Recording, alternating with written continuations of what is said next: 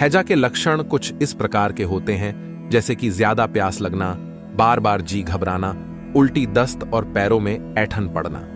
हैजा दूषित पानी और उससे बनी बर्फ़ इस्तेमाल करना, सड़क पर बेचे जाने वाले दूषित खाद्य पदार्थों का सेवन करना, फल व सब्जियों को बिना धोए खाना, इन सब के कारण होता है।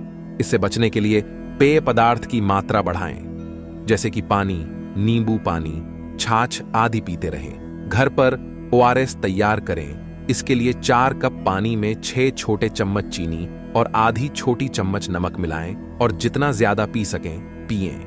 दही में केला मिलाकर खाएँ। अदरक को पीस करके शहद के साथ मिलाकर खाएँ। यदि शौच में खून के धब्बे आ रहे हों तो अदरक न खाएँ। एक गिलास पानी में शहद, नींबू और नमक मिलाकर पिए।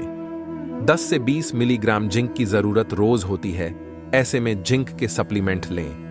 प्याज और काली मिर्च को पीसकर पेस्ट बनाएँ। इसे दिन में तीन बार एक हफ़्ते के लिए खाएँ। लौंग डालकर पानी को उबालें और छानकर इस पानी को पिए।